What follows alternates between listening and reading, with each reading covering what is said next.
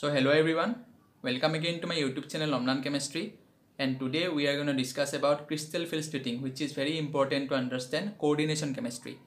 और आज मैं दो तरह के कॉम्प्लेक्स ऑक्टाहेड्रल और टेट्राहेड्रल कॉम्प्लेक्स का स्प्लिटिंग फिनोमेनन के ज़रिए ये क्रिस्टल फिल्ड स्प्लिटिंग फिनोमेनन आप लोगों को समझाने की कोशिश करूँगा तो होता क्या है जो ट्रांजिशन मेटल्स है उसके पास डी ऑर्बिटल्स होता है अब डी ऑर्बिटल्स पाँच तरह की होता है d x y d y z d z x d x square minus y square and d z square ये पाँचों में से d x square minus y square और डी जेड स्क्वायर का जो ऑर्बिटल्स का लोब होता है, वो अलोंग द एक्सिस होता है और बाकी का in between the axis for example d x y में ये लोब एक्स और वाई के बीच में प्रेजेंट होगा वाई जेड में वाई और जेड के बीच में और सिमिलरली जेड एक्स जो ऑर्बिटल है, उसका लोब एक्स और जेड एक्सिस के बीच में प्रेजेंट होगा।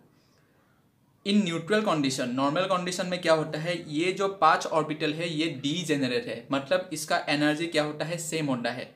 लेकिन जब ये ट्रांजिशन मेटल लिगान के साथ कोई कॉम्प्लेक्स या फिर कंपाउंड बनाता है, अब लिगान क्या है? लिगान एक ऐसा स्पेसिस है जिसके पास इलेक्ट्रॉन पेयर होता है और वो मेटल के साथ इंटरेक्ट करके एक डेटिव बॉन्ड बनाता है, ठीक है? कोऑर्डिनेट कोवेलेंट बॉन्ड जिसको हम लोग बोलते हैं और बना के वो कंपाउंड बनाते हैं। तो लिगान जब मेटल के साथ इंटरेक्ट करते हैं, जो कंपाउंड जब बनते हैं, तब ये डीजेनेरेसी जो है, ये पाँच ऑर्बिटल का मतलब जो एनर्जी लेवल है, वो सेम नहीं रहता है। ये दो टुकड़ों में बच जाता है। एक का एनर्जी क्या हो जाता है? कम, और दूसरा सेट का एनर्जी बढ़ जाता है। तो वो कैसे बढ़ता है? इसी का स्टडी को हम लोग क्या बोलते हैं? क्रिस्टल फ़ील्ड स्प्लिटिंग फेनोमेनन बोलते हैं, ठीक है? तो सबसे पहले हम लोग देखेंगे ऑक्टाहेड्रल कॉम्प्लेक्स में।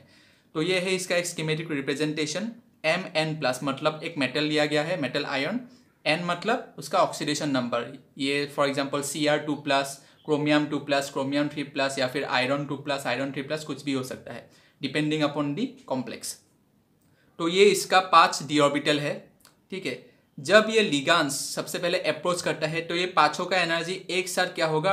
राइज होगा। उसका एनर्जी बढ़ जाएगा। और जब ये लिगान मेटल के साथ इंटरेक्ट करना शुरू करता है, तब क्या होगा? ये जो पाँच ऑर्बिटल डी ऑर्बिटल जिसका एनर्जी बढ़ गया था, अब दो टुकड़ों में बच जाएगा, दो सेट में। ऑक्टाहेड्रल के लिए एक सेट का हम लोग नाम देंगे टी टू जी और दूसरे का नाम ई जी टी टू जी में होगा d x y d y z and d z x e g में होगा d x square minus y square and d z and d z square तो ये क्यों होता है? मतलब ऐसे क्यों टूट जाता है?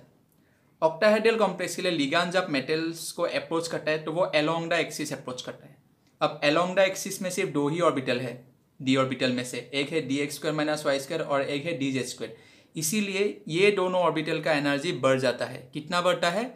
Six d q d q का मतलब डिफरेंशियल ऑफ़ क्वांटा ठीक है? और डेल्टा ओ या फिर ओ का मतलब है ऑक्टाहेड्रल डेल्टा मतलब क्रिस्टल फ़ील्ड स्प्लिटिंग एनर्जी तो 0.6 डी क्यू या फिर डेल्टा ओ एनर्जी बढ़ जाता है और बाकी का जो तीन ऑर्बिटल है, जो अलोंग द एक्सिस प्रेजेंट नहीं है बल्कि in between the axis present है, उसका एनर्जी क्या हो जाता है? कम हो जाता है। कितना कम होता है?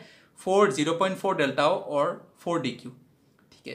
तो इस तरह से ऑक्टाहेड्रल कॉम्प्लेक्स में ये स्प्लिटिंग होता है इन प्रेजेंस ऑफ़ लिगान और स्प्लिटिंग होने के बाद ligand depending upon its nature whether it is strong और वीक वो मेटल के साथ इंटरेक्ट करके कॉम्प्लेक्स बनाते हैं। टेट्राहेड्रल के लिए ये कॉम्प्लीटली उल्टा है, क्योंकि टेट्राहेड्रल में जो लिगान का अप्रोच होता है, वो अलोंग द एक्सिस नहीं होता है rather than in between the axis होता है। और इसीलिए ये जो ईजी और टी टू जी से, जिसका ईजी का एनर्जी बढ़ गया था ऑक्टाहेड्रल में, यहाँ पे कम्प्लीटली उल्टा हो जाएगा। तो नीचे आ जाएगा ई ऊपर आ जाएगा t two d x square minus y square और डी जेड स्क्वायर का एनर्जी कम हो जाएगा, और d x y d y z and d z का एनर्जी बढ़ जाएगा। कितना बढ़ेगा? Zero point four delta t t four tetrahedral, और कितना कम हो जाएगा ये d x square minus y square and d z square का energy value zero point six delta t. ठीक है?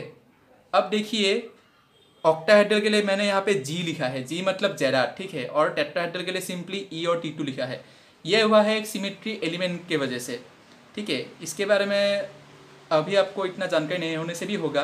अब सब यही आप याद रखिए कि टी टू जी जो है इसमें जी रिप्रेजेंट करता है जेराड या ऑक्टाहेड्रल कॉम्प्लेक्स में एक सिमेट्री ऑपरेशन हम लोग कर सकते हैं। टेट्राहेड्रल में वो हम लोग नहीं कर सकते। इसके बारे में आप लोगों को बाद में मैं एक अलग वीडियो बना के आप लोगों को समझा दूँगा। ये डेल्टा टी मतलब crystal field splitting in tetrahedral and crystal field splitting in octahedral में रिलेशन क्या है? Delta t equal to four by nine into delta o ठीक है? तो ये हो गया इसका रिलेशन तो इस तरह से different types of complex whether it is octahedral tetrahedral या फिर स्क्वायर पिरामिडल या फिर ट्राइगोनल बाई पिरामिडल सब में depending upon the approach of the ligand and interaction with that of the metal orbital ये जो डी ऑर्बिटल जो है, जो डी जेनरेट है, उसका डी जेनरेसी क्या हो जाता है? टूट जाता है और वो अलग अलग सेट में बच जाता है। और उसके बाद वो लिगान वो मेटल ऑर्बिटल के साथ इंटरेक्ट करके कॉम्प्लेक्स बनाते हैं। ठीक है? और कॉम्प्लेक्स कैसे बनाते हैं?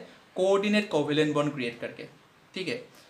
सो so, यही है क्रिस्टल फिल स्प्लिटिंग का ब्रीफ इंट्रोडक्शन आई होप आप लोगों को ये वीडियो अच्छा लगा होगा। तो ये वीडियो को लाइक करना मत भूलिए।